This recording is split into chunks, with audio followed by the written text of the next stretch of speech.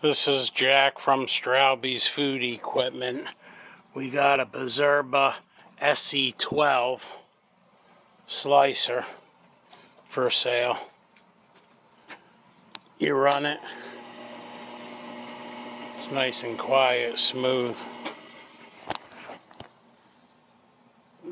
When this is locked in, you got this big uh, meat grip here to lock the meat in when you want to clean the machine, you put the dial back in the home position, loosen up the knob for the carriage, the whole carriage flips open like that for cleaning. Then you just flip it back, tighten it back up.